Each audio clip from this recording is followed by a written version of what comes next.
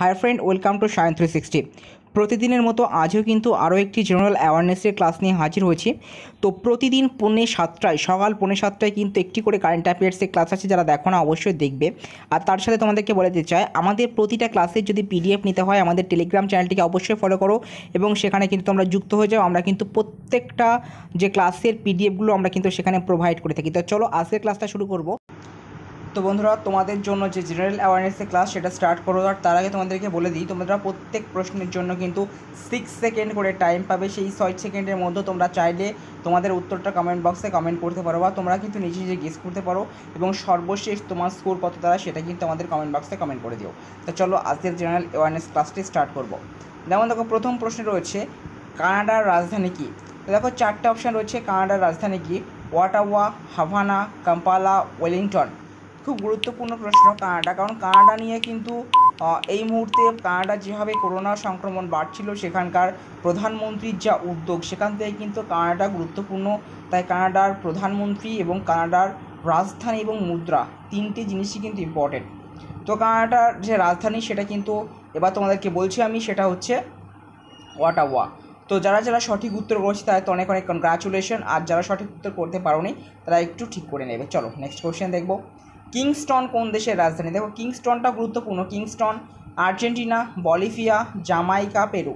তো তোমাদের টাইম কিন্তু শুরু হয়ে গেছে। তো কিংস্টন কোন দেশের রাজধানী? তো দেখো, কিংস্টন যে রাজধানী, সেটা কিন্তু জামাইকার রাজধানী, কিন্তু কিংস্টন। দেখো, এই কিছু কিছু দেশ থাকে যাদের রাজধানীগুলো কিন্তু গুরুত্বপূর্ণ, ঠিক আছে? তো কিংস্টন কিন্তু সেই হিসাবে জামাইকার রাজধানী। চলো নেক্সট কোশ্চেন দেখব।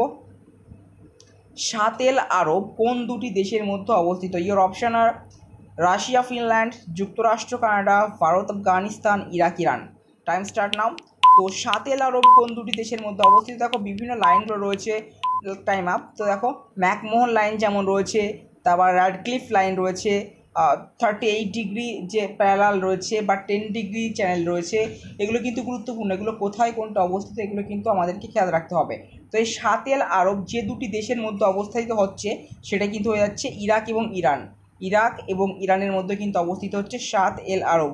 এই সাত এল আরবটা কিন্তু ইম্পর্টেন্ট কারণ এই যে তেল, তেলের ব্যাপারটা নিয়ে কিন্তু ব্যাপকভাবে উত্তপ্ত ইরাক, ইরান ওকে তো চলো নেক্সট কোয়েশ্চেন দেখব।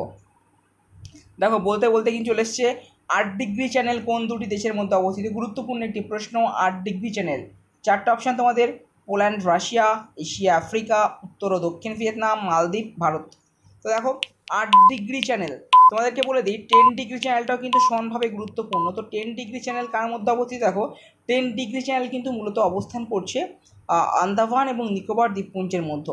তো একইভাবে আট ডিগ্রি চ্যানেল কিন্তু অবস্থান করছে ভারত এবং মালদ্বীপের মধ্যে। Option D is the right answer Bharat এবং মালদ্বীপের মধ্যে কিন্তু অবস্থান করছে এই আট ডিগ্রি চ্যানেল তো তোমরা যদি আমাদের এই ভিডিওর পিডিএফটি পেতে চাও, তাহলে অবশ্যই আমাদের টেলিগ্রাম চ্যানেলে জয়েন হয়ে যাও। আমরা কিন্তু লিঙ্কটি ডেসক্রিপশনে প্রোভাইড করে রেখেছি। চলো নেক্সট কোশ্চেন দেখব। পিকিং কার পূর্ব নাম? দেখো, গুরুত্বপূর্ণ প্রশ্ন পিকিং এই পূর্ব নাম তারপর বর্তমান নাম, এগুলো কিন্তু গুরুত্বপূর্ণ হয়ে থাকে। তো দেখো পিকিং চারটা option Malaysia Taiwan Beijing Oslo তো সেক্ষেত্রে কিন্তু টাইম শুরু হয়ে গেছে। তো দেখো পিকিং পিকিং যে শহরটি রয়েছে না, এটা হলো অ্যাকচুয়ালি বেজিংয়ের পূর্ব নাম।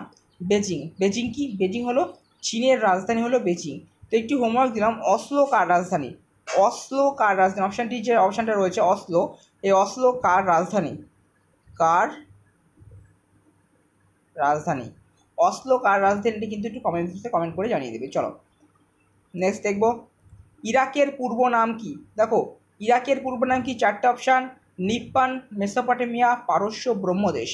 ইরাকের পূর্ব নাম আগে বলেছি, পূর্ব নাম এবং বর্তমান নাম কিন্তু গুরুত্বপূর্ণ। তো ইরাকের পূর্ব নাম, চারটা অপশানে কিন্তু দিয়ে দিয়েছি। তো দেখো, এবার কিন্তু আমি অ্যান্সার বলছি, ইরাকের যে পূর্ব নাম, সেটা কিন্তু হয়ে যাবে মেসোপটেমিয়া। এটাকে কিন্তু আমরা আরেকটা নামও ডাকি, সেটা কি? সেটা হচ্ছে সুমেরু। বা সুমের। সুমের বলেও কিন্তু আমরা ডেকে থাকি। ইরাককে ওকে তো ইরাকের পূর্ব নাম গেল, এবার আমরা দেখব নেক্সট কোয়েশ্চেন ইন্দ্রপ্রস্থ কোন শহরের পূর্ব নাম? দেখো, ইন্দ্রপ্রস্থ, এই কোশ্চেনটা কিন্তু অ্যাপিয়ার্ড কোশ্চেন কোশ্চেনটা অ্যাপিয়ার্ড কোশ্চেন এবং সম্ভবত কোনো একটি পরীক্ষা এসেছিল, আমার ঠিক মনে পড়ছে না বাট অ্যাপিয়ার্ড কোশ্চেন ইন্দ্রপ্রস্থ। সম্ভবত ডাব্লিউবিপির কোনো পরীক্ষাতে এসেছিল, ইন্দ্রপ্রস্থ ভারতের কোন শহরের পূর্ব নাম? চারটা অপশান কলকাতা, দিল্লি, গুজরাট, মুম্বাই। তো ইন্দ্রপ্রস্থ কোন শহরের পূর্ব নাম? দেখো, ইন্দ্রপ্রস্থ কিন্তু ভারতের বর্তমান রাজধানী, নতুন দিল্লি বা দিল্লির পূর্ব নাম কিন্তু ইন্দ্রপ্রস্থ ওকে ক্লিয়ার চলো নেক্সট কোশ্চেন দেখব। ভারতীয় প্রধানমন্ত্রীর সরকারি বাসভবনের নাম কি? দেখো মানে ভারতের যেমন প্রধানমন্ত্রীর সরকারি বাসভবন রয়েছে, তেমন কিন্তু বিভিন্ন দেশের প্রধানমন্ত্রীদেরও কিন্তু সরকারি বাসভবন রয়েছে বা রাষ্ট্রপতিদের রয়েছে। যেমন দেখো, চারটা option Raisina hills statue of unity seven racecourse road, প্রধানমন্ত্রী আবাস। দেখো, ভারতীয় প্রধানমন্ত্রীর যে বাসভবন অর্থাৎ ভারতীয় প্রধানমন্ত্রী যেখানে থাকেন, সেই জায়গাটা কিন্তু নতুন দিল্লিতে অবস্থিত এবং সেই জায়গাটা কিন্তু হচ্ছে সেভেন রেসকোর্স রোড, অর্থাৎ C is the right answer. Option C is the right answer. Seven racecourse road হলো ভারতীয় প্রধানমন্ত্রীর সরকারি বাসভবন। একইভাবে রায়সিনা হিলস কিন্তু ভারতীয় রাষ্ট্রপতির বাসভবন।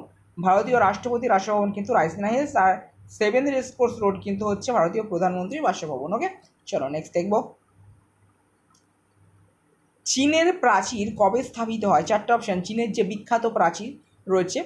তো দেখো, চারটা অপশান আশি সালে সাতশো খ্রিস্টপূর্বাব্দে, সাতশো খ্রিস্টাব্দে, ছশো খ্রিস্টাব্দে। চীনের প্রাচীর কবে স্থাপিত হয়? অর্থাৎ চায়নার যে প্রাচীর রয়েছে, চায়নার যে ওয়াল রয়েছে, বিখ্যাত ওয়াল চায়না, সেটা কবে স্থাপিত? দেখো, আমরা কিন্তু অনেকদিন আগে পড়েছি চায়নার প্রাচীর। অর্থাৎ চায়নার প্রাচীর কিন্তু প্রচুর পুরনো। চায়নার যে বিখ্যাত প্রাচীর, যে বৃহৎ প্রাচীর, তো দেখো চায়নার যে প্রাচীর সেটা কিন্তু সাতশো খ্রিস্টপূর্বাব্দে কিন্তু স্থাপিত হয়। সাতশো খ্রিস্টপূর্বাব্দে কিন্তু স্থাপিত হয়েছিল চায়নার এই প্রাচীরটা। চলো নেক্সট কোশ্চেন দেখব। কোন দেশের সরকারি নথি অরেঞ্জ বুক নামে পরিচিত? দেখো, বেশ কয়েকগুলো বুক রয়েছে। অরেঞ্জ বুক রয়েছে গ্রিন বুক রয়েছে রেড বুক রয়েছে, এগুলো গুরুত্বপূর্ণ। কোনটা কোন দেশের সরকারি নথি বা কোনটা কোন দেশের সরকারি নথির রং সেটা কিন্তু একটু গুরুত্বপূর্ণ বা বুক ঠিক আছে? তো দেখো চারটা option orange book Netherlands Japan Portugal France তো দেখো চারটা অপশান তোমরা নিয়ে নিচ্ছে বা তোমাদের যে মূল্যবান উত্তর সেটা তোমরা কমেন্ট বক্সে কমেন্ট করো।